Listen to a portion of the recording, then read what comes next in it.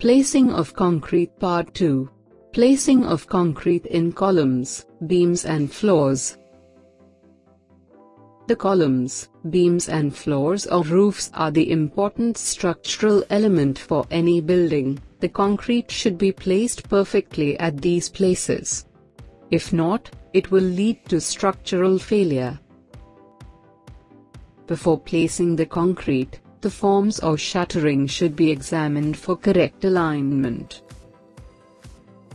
The forms must be rigid enough to withstand the weight of concrete and loads during construction without any deformation.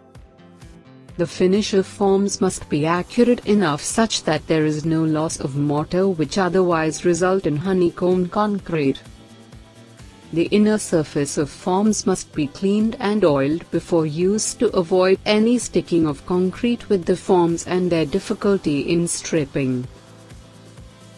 The reinforcement is placed should be tied tightly and must be free from any forensic agents. The presence of rust, paints, oils or grease should be removed before placing of concrete.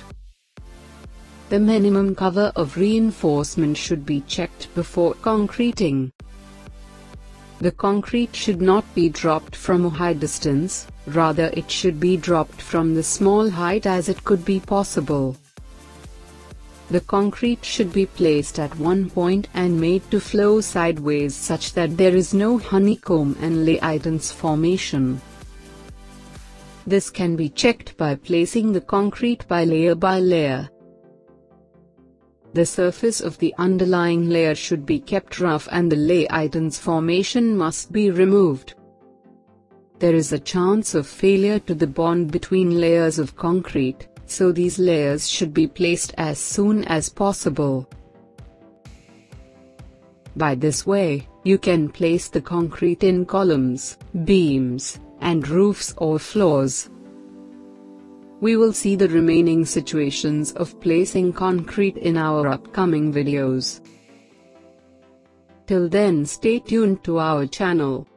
Kindly do like, share, comment your views and finally don't forget to subscribe our channel.